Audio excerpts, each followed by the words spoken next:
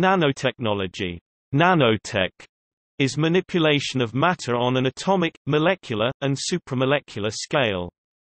The earliest, widespread description of nanotechnology referred to the particular technological goal of precisely manipulating atoms and molecules for fabrication of macroscale products, also now referred to as molecular nanotechnology. A more generalized description of nanotechnology was subsequently established by the National Nanotechnology Initiative, which defines nanotechnology as the manipulation of matter with at least one dimension sized from 1 to 100 nanometers. This definition reflects the fact that quantum mechanical effects are important at this quantum realm scale, and so the definition shifted from a particular technological goal to a research category inclusive of all types of research and technologies that deal with the special properties of matter which occur below the given size threshold. It is therefore common to see the plural form, nanotechnologies, as well as nanoscale technologies to refer to the broad range of research and applications whose common trait is size. Because of the variety of potential applications including industrial and military, governments have invested billions of dollars in nanotechnology research. Through 2012, the USA has invested $3.7 billion using its National Nanotechnology Initiative, the European Union has invested $1.2 billion, and Japan has invested $750 million. Nanotechnology as defined by size is naturally very broad, including fields of science as diverse as surface science, organic chemistry, molecular biology, semiconductor physics, energy storage, microfabrication, molecular engineering, etc. The associated research and applications are equally diverse, ranging from extensions of conventional device physics to completely new approaches based upon molecular self-assembly, from developing new materials with dimensions on the nanoscale to direct control of matter on the atomic scale. Scientists currently debate the future implications of nanotechnology. Nanotechnology may be able to create many new materials and devices with a vast range of applications, such as in nanomedicine, nanoelectronics, biomaterials energy production, and consumer products. On the other hand, nanotechnology raises many of the same issues as any new technology, including concerns about the toxicity and environmental impact of nanomaterials, and their potential effects on global economics, as well as speculation about various doomsday scenarios. These concerns have led to a debate among advocacy groups and governments on whether special regulation of nanotechnology is warranted.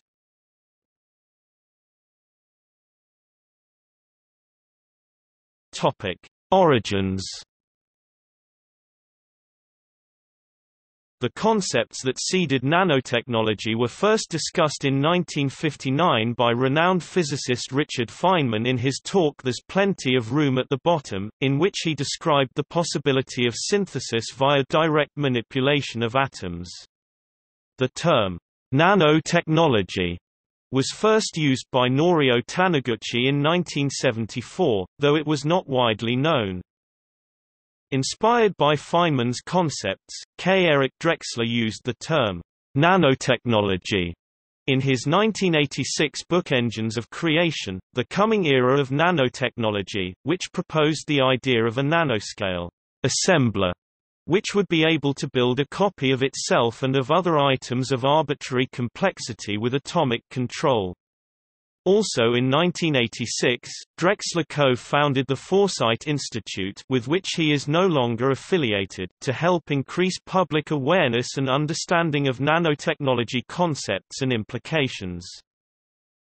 Thus, emergence of nanotechnology as a field in the 1980s occurred through convergence of Drexler's theoretical and public work, which developed and popularized a conceptual framework for nanotechnology, and high-visibility experimental advances that drew additional wide-scale attention to the prospects of atomic control of matter. Since the popularity spike in the 1980s, most of nanotechnology has involved investigation of several approaches to making mechanical devices out of a small number of atoms. In the 1980s, two major breakthroughs sparked the growth of nanotechnology in modern era.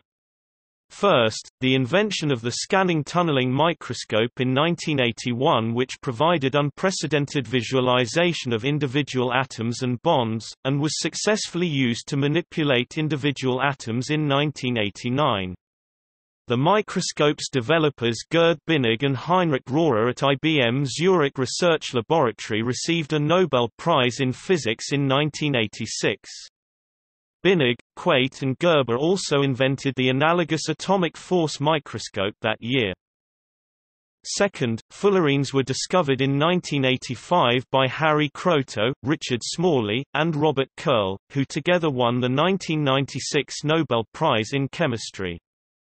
C60 was not initially described as nanotechnology, the term was used regarding subsequent work with related graphene tubes called carbon nanotubes and sometimes called Bucky tubes which suggested potential applications for nanoscale electronics and devices. In the early 2000s, the field garnered increased scientific, political, and commercial attention that led to both controversy and progress. Controversies emerged regarding the definitions and potential implications of nanotechnologies, exemplified by the Royal Society's report on nanotechnology. Challenges were raised regarding the feasibility of applications envisioned by advocates of molecular nanotechnology, which culminated in a public debate between Drexler and Smalley in 2001 and 2003. Meanwhile, commercialization of products based on advancements in nanoscale technologies began emerging. These products are limited to bulk applications of nanomaterials and do not involve atomic control of matter.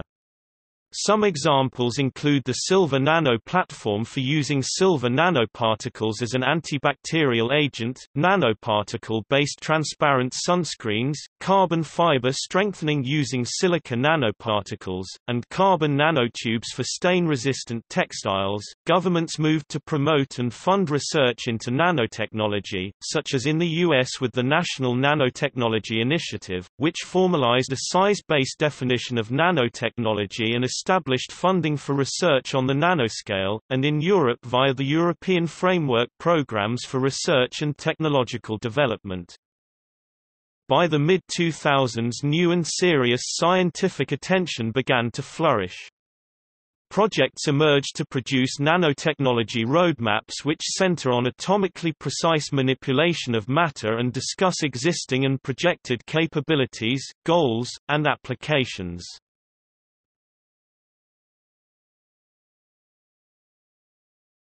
Topic: Fundamental concepts. Nanotechnology is the engineering of functional systems at the molecular scale. This covers both current work and concepts that are more advanced. In its original sense, nanotechnology refers to the projected ability to construct items from the bottom up, using techniques and tools being developed today to make complete, high-performance products. 1 nanometer, nanometer is 1 billionth, or 10-9, of a meter. By comparison, typical carbon-carbon bond lengths, or the spacing between these atoms in a molecule, are in the range 0.12 to 0.15 nanometers, and a DNA double helix has a diameter around 2 nanometers. On the other hand, the smallest cellular life forms, the bacteria of the genus Mycoplasma, are around 200 nanometers in length. By convention, nanotechnology is taken as the scale range 1 to 100 nanometers following the definition used by the National Nanotechnology Initiative in the U.S. The lower limit is set by the size of atoms hydrogen has the smallest atoms, which are approximately a quarter of a nanometer kinetic diameter since nanotechnology must build its devices from atoms and molecules. The upper limit is more or less arbitrary but is around the size below which phenomena not observed in larger structures start to become apparent and can be made use of in the nano device. These new phenomena make nanotechnology distinct from devices which are merely miniaturized versions of an equivalent macroscopic device. Such devices are on a larger scale and come under the description of microtechnology. To put that scale in another context, the comparative size of a nanometer to a meter is the same as that of a marble to the size of the Earth. Or another way of putting it, a nanometer is the amount an average man's beard grows in the time it takes him to raise the razor to his face. Two main approaches are used in nanotechnology. In the bottom-up approach, materials and devices are built from molecular components which assemble themselves chemically by principles of molecular recognition.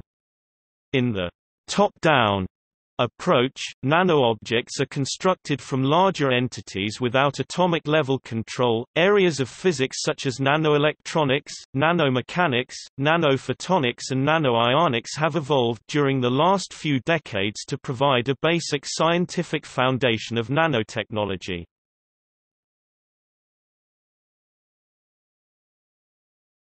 Topic: Larger to smaller, a materials perspective. Several phenomena become pronounced as the size of the system decreases. These include statistical mechanical effects, as well as quantum mechanical effects, for example the quantum size effect, where the electronic properties of solids are altered with great reductions in particle size. This effect does not come into play by going from macro to micro dimensions. However, quantum effects can become significant when the nanometer size range is reached, typically at distances of 100 nanometers or less, the so-called quantum realm. Additionally, a number of physical mechanical, electrical, optical, etc. properties change when compared to macroscopic systems. One example is the increase in surface area to volume ratio altering mechanical, thermal and catalytic properties of materials. Diffusion and reactions at nanoscale, nanostructures materials and nanodevices with fast ion transport are generally referred to nanoionics. Mechanical properties of nanosystems are of interest in the nanomechanics research. The catalytic activity of nanomaterials also opens potential risks in their interaction with biomaterials. Materials reduced to the nanoscale can show different properties compared to what they exhibit on a macroscale, enabling unique applications. For instance, opaque substances can become transparent copper, stable materials can turn combustible aluminium, insoluble materials may become soluble gold. A material such as gold, which is chemically inert at normal scales, can serve as a potent chemical catalyst at nanoscales. Much of the fascination with nanotechnology stems from these quantum and surface phenomena that matter exhibits at the nanoscale.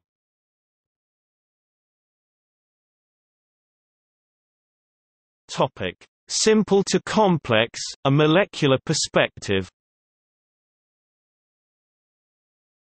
Modern synthetic chemistry has reached the point where it is possible to prepare small molecules to almost any structure. These methods are used today to manufacture a wide variety of useful chemicals such as pharmaceuticals or commercial polymers.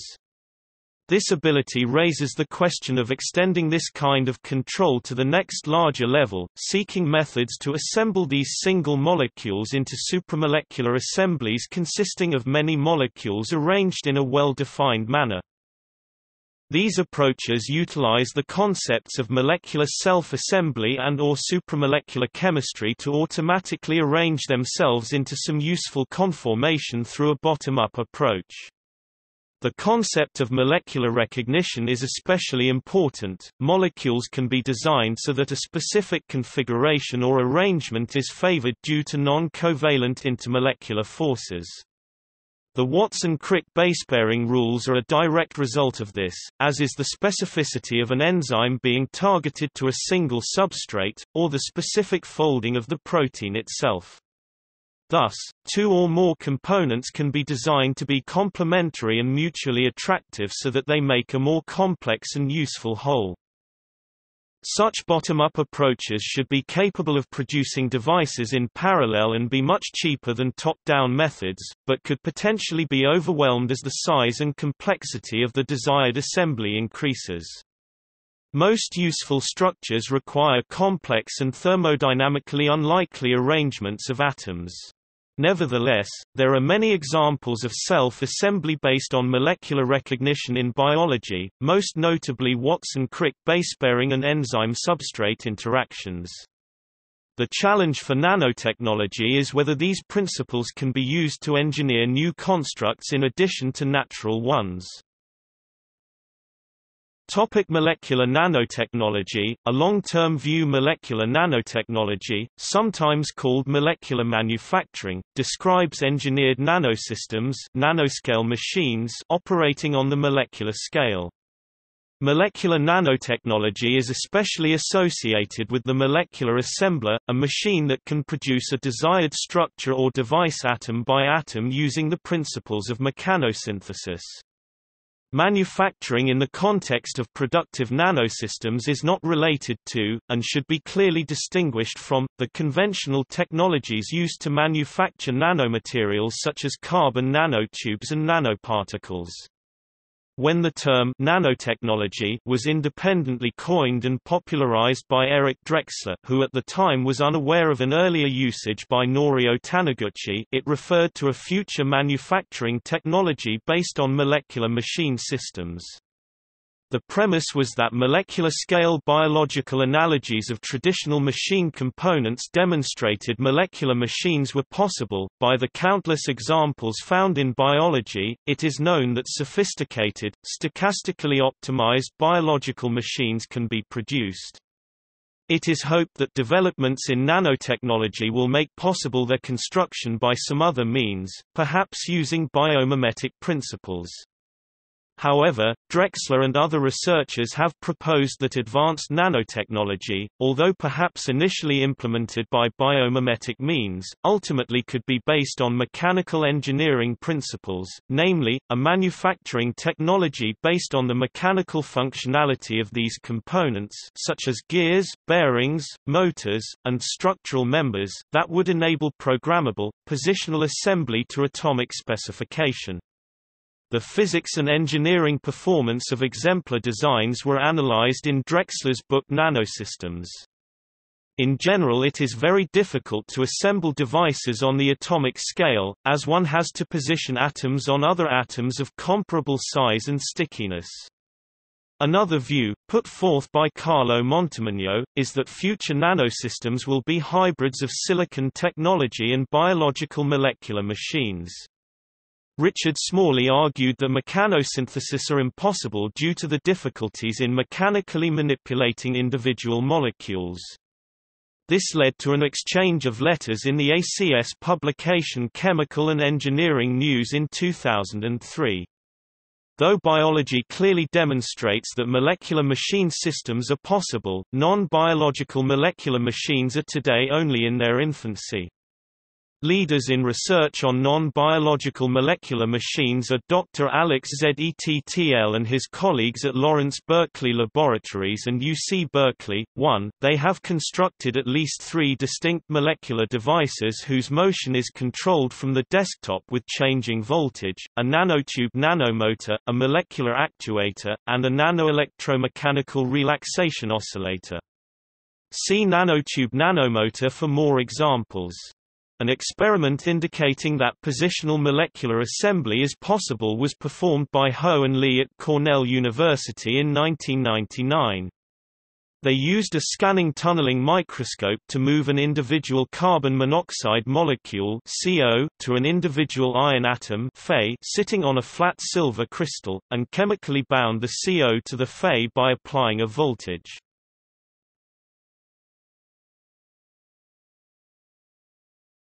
Topic: Current research.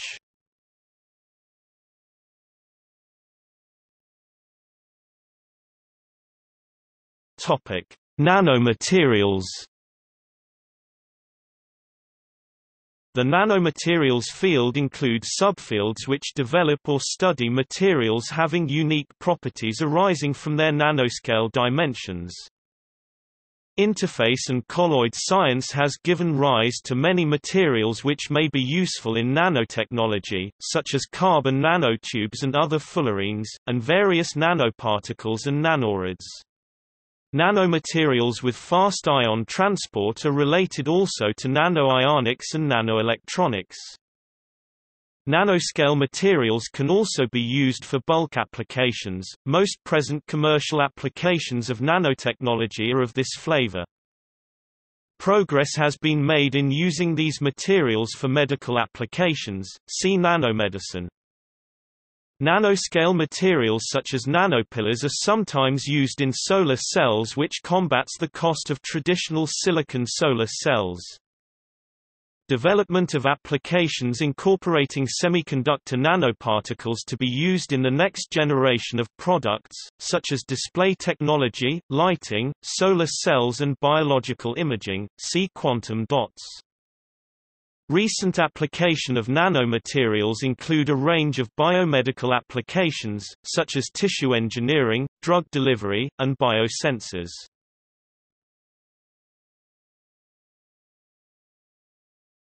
Topic: Bottom-up approaches. These seek to arrange smaller components into more complex assemblies. DNA nanotechnology utilizes the specificity of Watson-Crick basepairing to construct well-defined structures out of DNA and other nucleic acids. Approaches from the field of classical Chemical synthesis inorganic and organic synthesis also aim at designing molecules with well-defined shape e.g. bispeptides. More generally, molecular self-assembly seeks to use concepts of supramolecular chemistry, and molecular recognition in particular, to cause single-molecule components to automatically arrange themselves into some useful conformation. Atomic force microscope tips can be used as a nanoscale write head to deposit a chemical upon a surface in a desired pattern in a process called dip pen nanolithography. This technique fits into the larger subfield of nanolithography. Molecular beam epitaxy allows for bottom-up assemblies of materials, most notably semiconductor materials commonly used in chip and computing applications, stacks, gating, and nanowire lasers.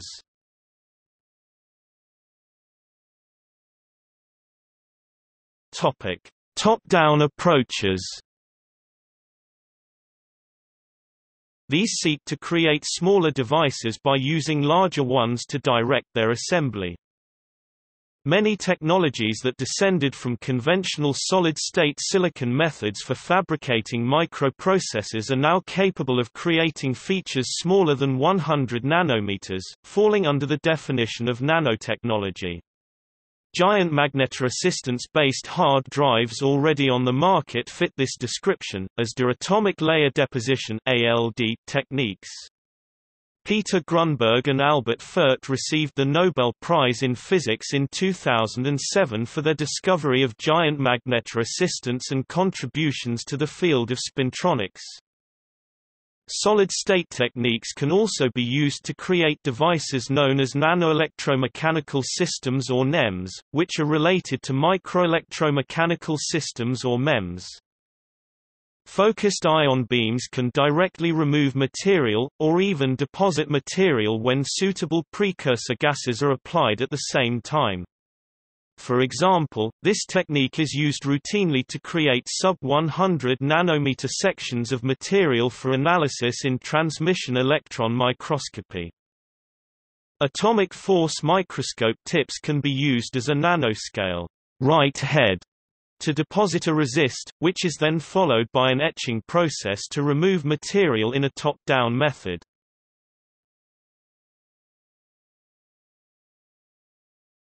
Topic: Functional approaches These seek to develop components of a desired functionality without regard to how they might be assembled.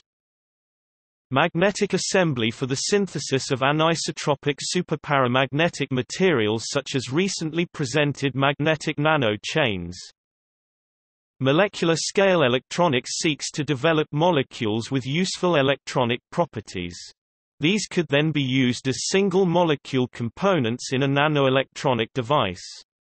For an example see Rotaxane. Synthetic chemical methods can also be used to create synthetic molecular motors, such as in a so-called nanocar.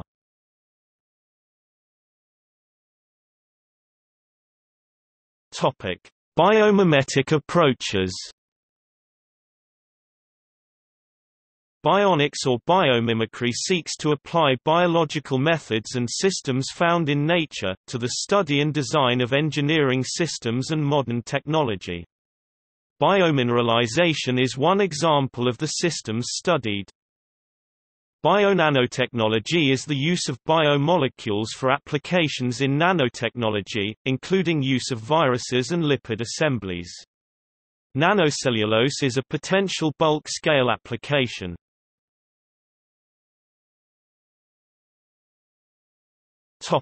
Speculative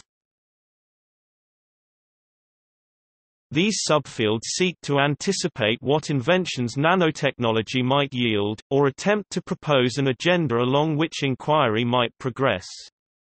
These often take a big-picture view of nanotechnology, with more emphasis on its societal implications than the details of how such inventions could actually be created. Molecular nanotechnology is a proposed approach which involves manipulating single molecules in finely controlled, deterministic ways. This is more theoretical than the other subfields, and many of its proposed techniques are beyond current capabilities. Nanorobotics centers on self-sufficient machines of some functionality operating at the nanoscale. There are hopes for applying nanorobots in medicine, but it may not be easy to do such a thing because of several drawbacks of such devices. Nevertheless, progress on innovative materials and methodologies has been demonstrated with some patents granted about new nanomanufacturing devices for future commercial applications, which also progressively helps in the development towards nanorobots with the use of embedded nanobioelectronics concepts.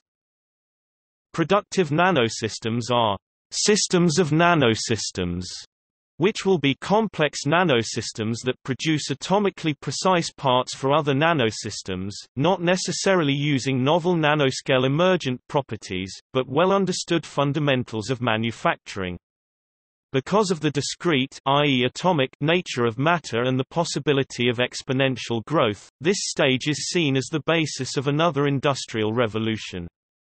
Mihail Roco, one of the architects of the USA's National Nanotechnology Initiative, has proposed four states of nanotechnology that seem to parallel the technical progress of the Industrial Revolution, progressing from passive nanostructures to active nanodevices to complex nanomachines and ultimately to productive nanosystems.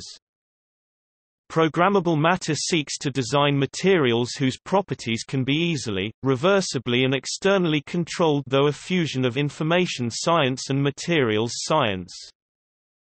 Due to the popularity and media exposure of the term nanotechnology, the words picotechnology and femtotechnology have been coined in analogy to it, although these are only used rarely and informally.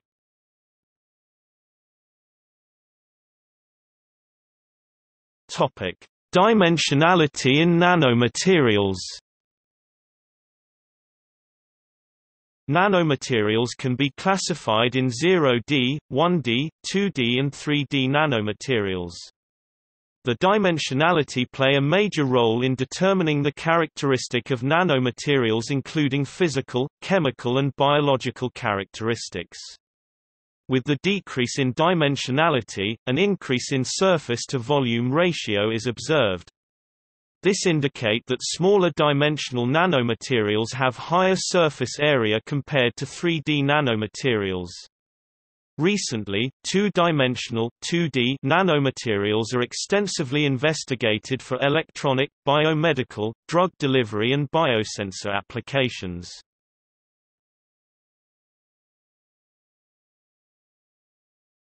Topic: Tools and techniques. There are several important modern developments. The atomic force microscope AFM and the scanning tunneling microscope STM are two early versions of scanning probes that launched nanotechnology. There are other types of scanning probe microscopy.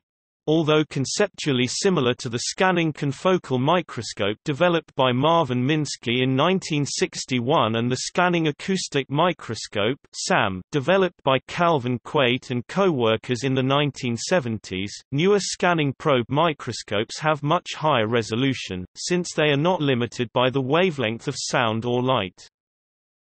The tip of a scanning probe can also be used to manipulate nanostructures a process called positional assembly.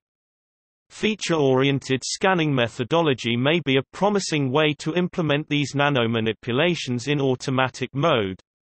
However, this is still a slow process because of low scanning velocity of the microscope.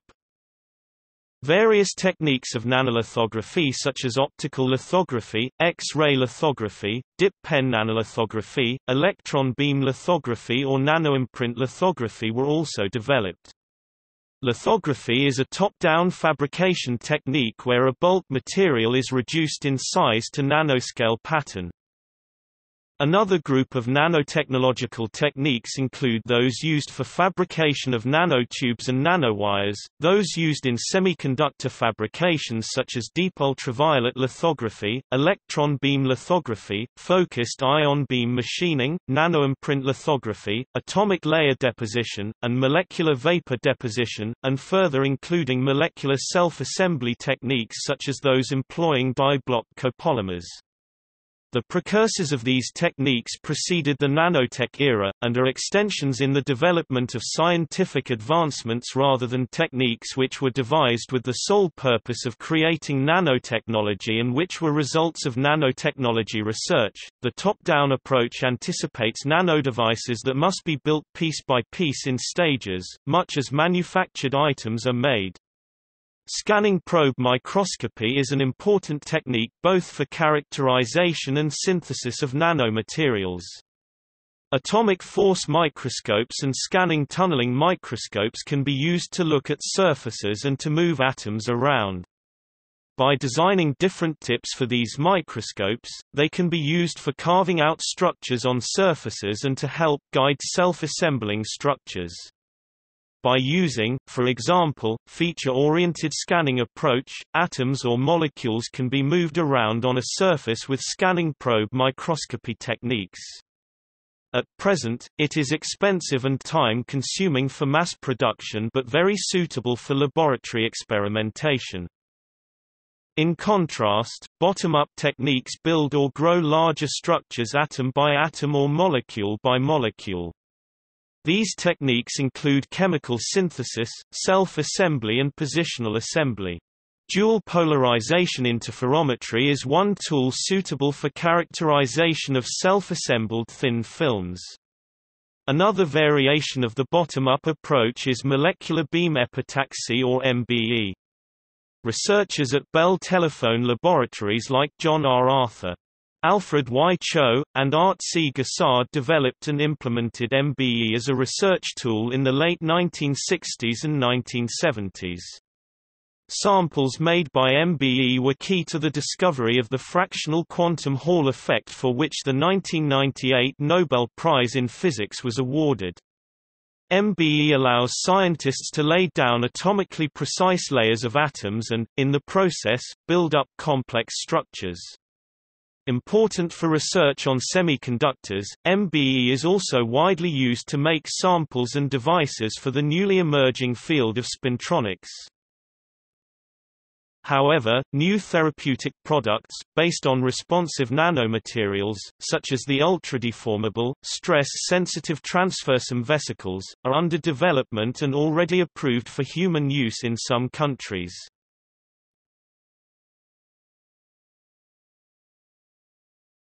Topic: Applications.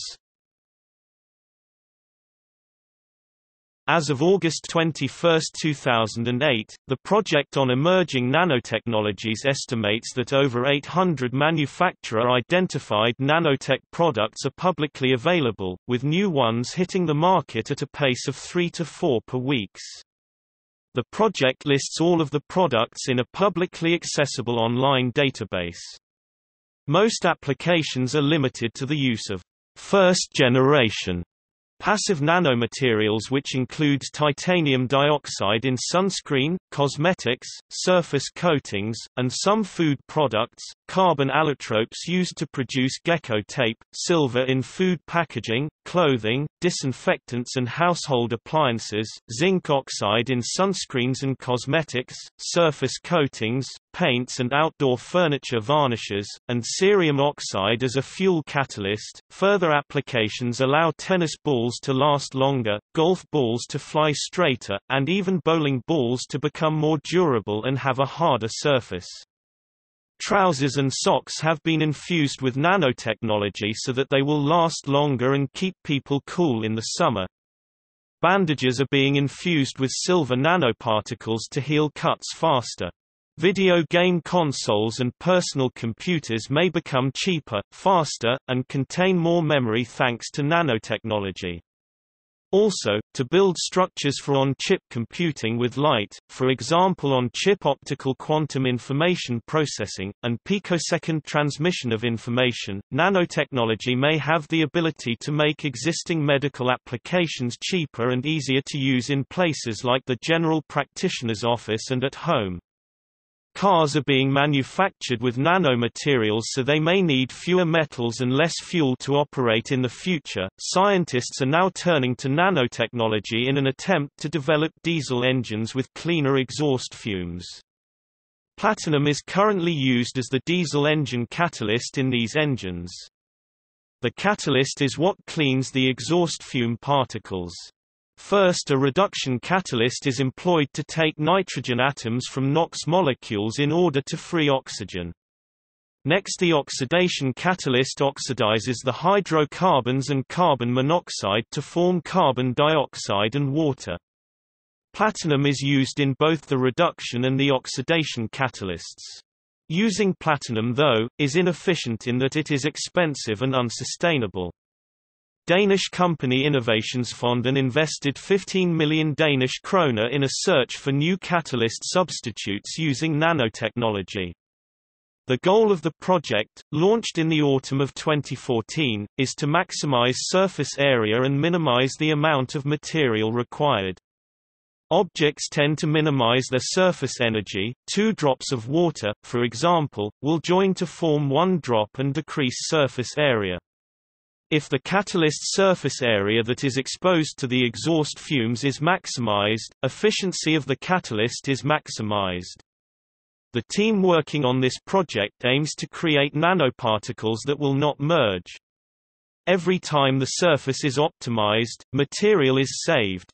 Thus, creating these nanoparticles will increase the effectiveness of the resulting diesel engine catalyst, in turn leading to cleaner exhaust fumes, and will decrease cost. If successful, the team hopes to reduce platinum use by 25%. Nanotechnology also has a prominent role in the fast developing field of tissue engineering. When designing scaffolds, researchers attempt to the mimic the nanoscale features of a cell's microenvironment to direct its differentiation down a suitable lineage. For example, when creating scaffolds to support the growth of bone, researchers may mimic osteoclast resorption pits. Researchers have successfully used DNA origami based nanobots capable of carrying out logic functions to achieve targeted drug delivery in cockroaches. It is said that the computational power of these nanobots can be scaled up to that of a Commodore 64.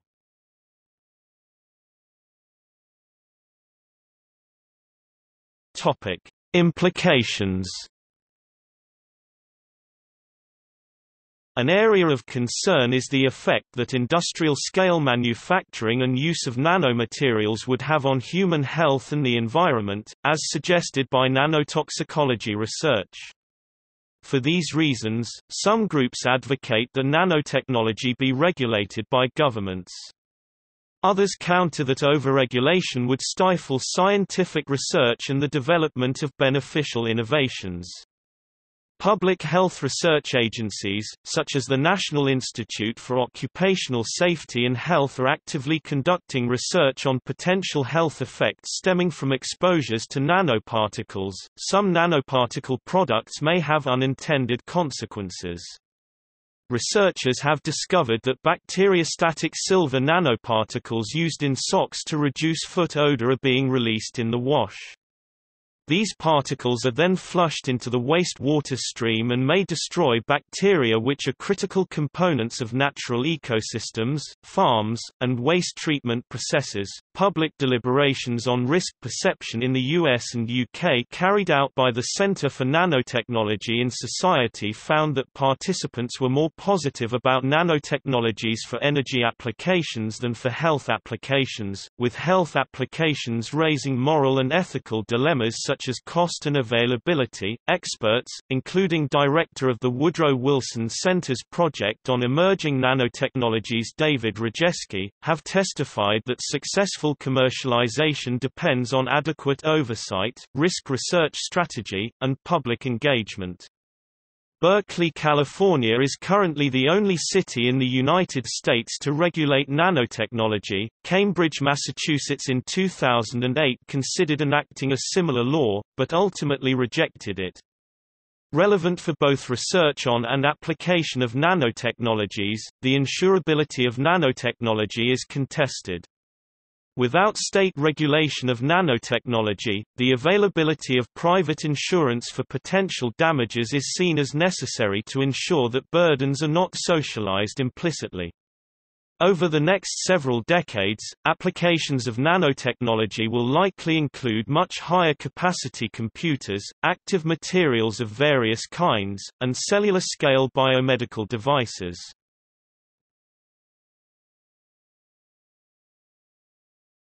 Topic: Health and environmental concerns. Nanofibers are used in several areas and in different products, in everything from aircraft wings to tennis rackets. Inhaling airborne nanoparticles and nanofibers may lead to a number of pulmonary diseases, e.g. fibrosis.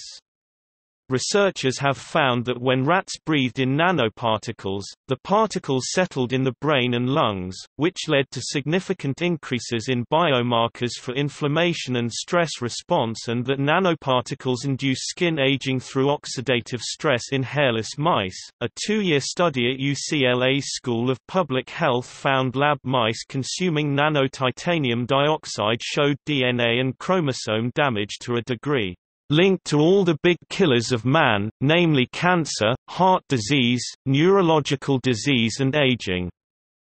A major study published more recently in Nature Nanotechnology suggests some forms of carbon nanotubes, a poster child for the nanotechnology revolution, could be as harmful as asbestos if inhaled in sufficient quantities. Anthony Seaton of the Institute of Occupational Medicine in Edinburgh, Scotland, who contributed to the article on carbon nanotubes said, We know that some of them probably have the potential to cause mesothelioma. So those sorts of materials need to be handled very carefully. In the absence of specific regulation forthcoming from governments, Paull and Lyons 2008 have called for an exclusion of engineered nanoparticles in food. A newspaper article reports that workers in a paint factory developed serious lung disease and nanoparticles were found in their lungs.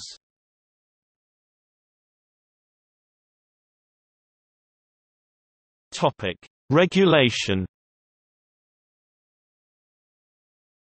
Calls for tighter regulation of nanotechnology have occurred alongside a growing debate related to the human health and safety risks of nanotechnology. There is significant debate about who is responsible for the regulation of nanotechnology. Some regulatory agencies currently cover some nanotechnology products and processes to varying degrees by bolting on nanotechnology to existing regulations, there are clear gaps in these regimes.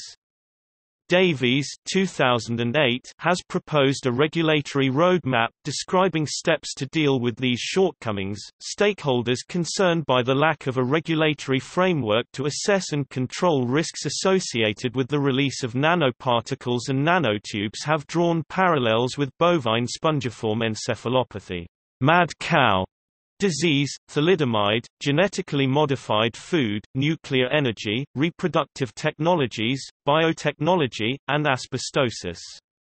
Dr. Andrew Maynard, Chief Science Advisor to the Woodrow Wilson Center's Project on Emerging Nanotechnologies, concludes that there is insufficient funding for human health and safety research, and as a result there is currently limited understanding of the human health and safety risks associated with nanotechnology.